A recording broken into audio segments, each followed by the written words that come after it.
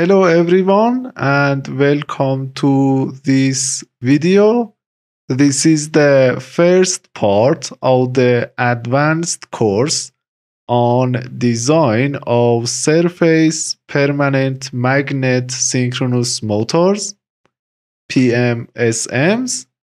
In this course we will learn how to design and properly size four case study motors.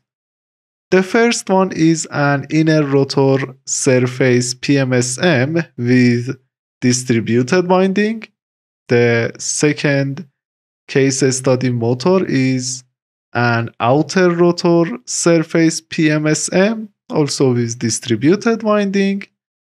The third one is an inner rotor surface PMSM with fractional slot concentrated winding, yes, we have some advantages for this kind of motors, as you know.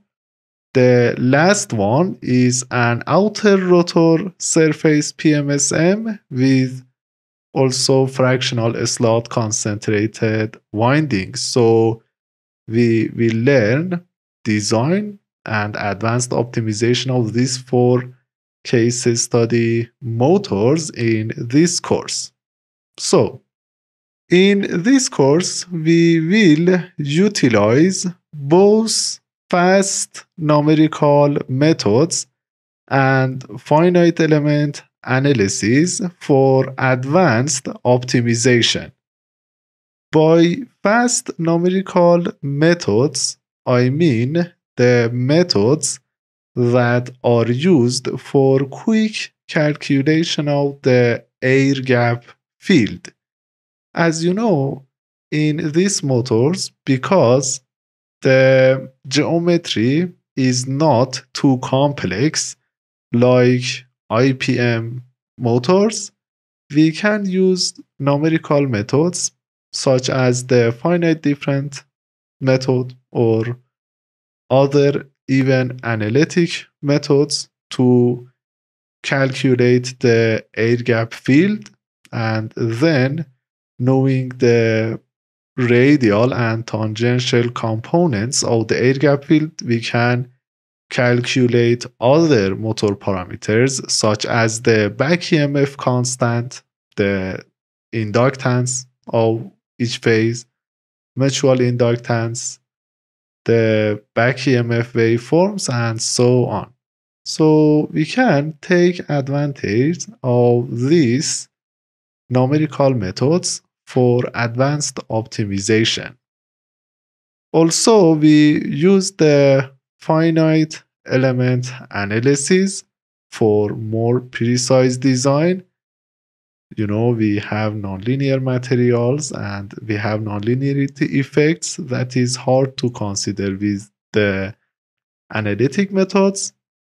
So we will compare the results that we derive with numerical methods with the results that we calculate using the finite element analysis. So I will explain how we can effectively use these methods and also use the finite element analysis for design of this motor type. So now let's discuss the prerequisites of this course. You need to know basic MATLAB programming. However, we will develop the code together during the course but you need to know the basic MATLAB programming. And you need to watch two series of videos. We have two courses on channel. The first one is three phase induction motor design course, you need to watch videos from 1 to 12. Okay. And also, there is another course, the radial flux.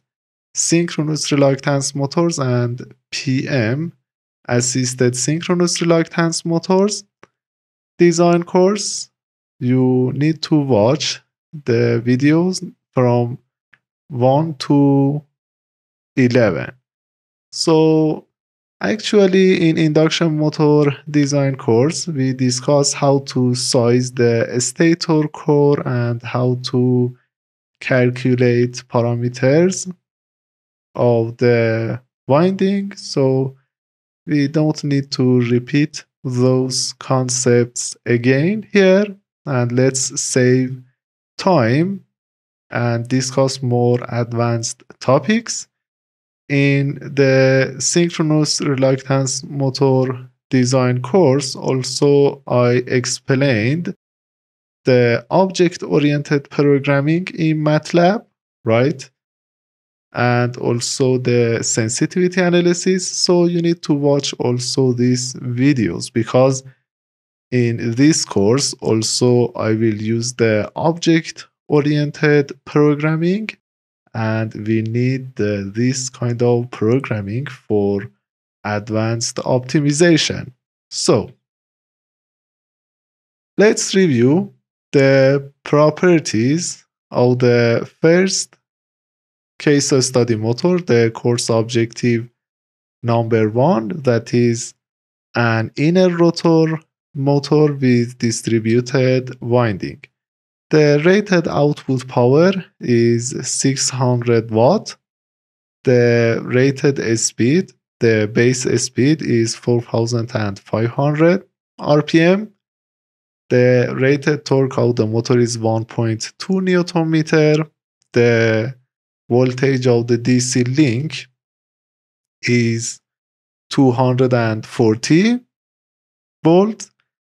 The efficiency, the desired efficiency should be higher than or equal to 92%. So we will start by designing this motor.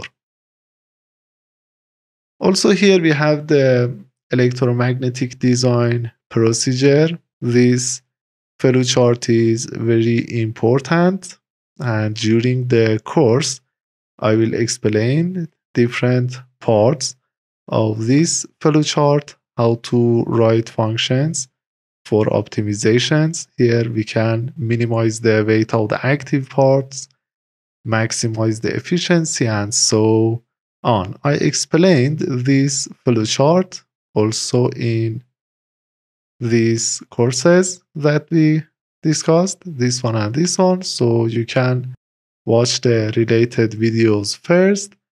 And let's uh, start design of this motor in the next video. Thanks for watching.